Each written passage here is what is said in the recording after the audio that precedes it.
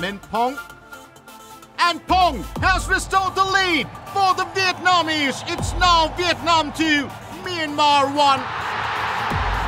40,000